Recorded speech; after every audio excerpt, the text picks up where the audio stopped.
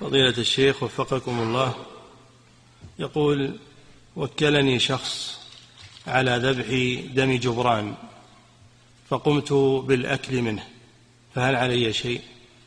لا بأس عليك. إنما هذا المنع من من الموكل. المنع من الموكل اللي عليه دم الجبران لا يأكل منها لأن كفارة في حقه. أما أنت وكيل تذبحها لا بأس تأكل من من لحمها. nè.